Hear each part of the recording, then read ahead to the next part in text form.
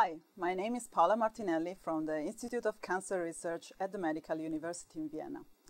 I will present our recent publication about the role of the transcription factor GATA6 in pancreatic cancer. Most of this work was conducted at the CNIO, the Spanish National Cancer Research Center in Madrid, under the supervision of Professor Francisco Real, and it was then completed here in Vienna. All of this would have not been possible without the contribution of all our co-authors. Pancreatic cancer is a deadly disease for which no effective treatment is available. One of the big issues is that pancreatic tumors are very heterogeneous and we don't have a good biomarkers that predicts their response to therapy.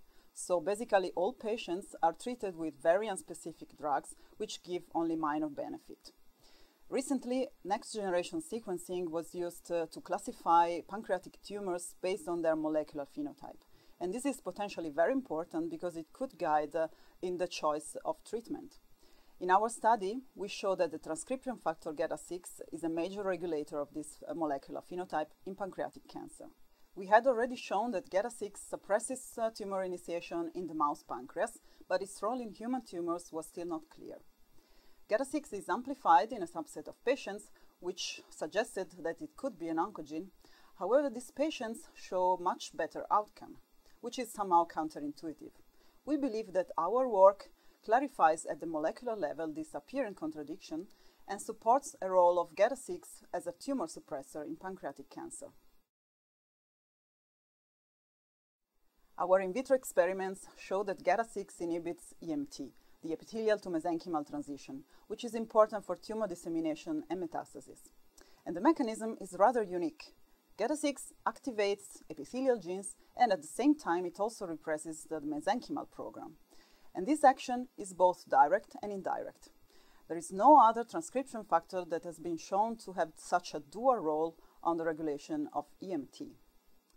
In patients, GATA6 can be lost, and this is uh, associated with the expression of a basal-like uh, molecular phenotype, which is very similar to what is observed in breast and bladder cancer. We believe that tumors from different organs somehow converge towards a common phenotype that is very plastic and probably allows tumor cells to adapt very easily to other organs and form metastasis.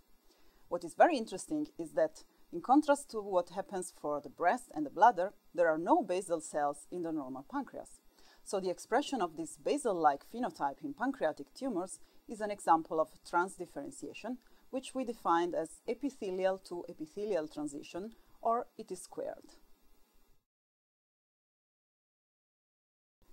Finally, we also confirmed that high levels of GATA6 uh, correlate with better outcome in patients, which was already reported, and we also show that patients with lower levels of GATA6 respond worse to 5-FU-based uh, adjuvant chemotherapy. So GATA6 could indeed be used as a predictive biomarker to guide the choice of treatment.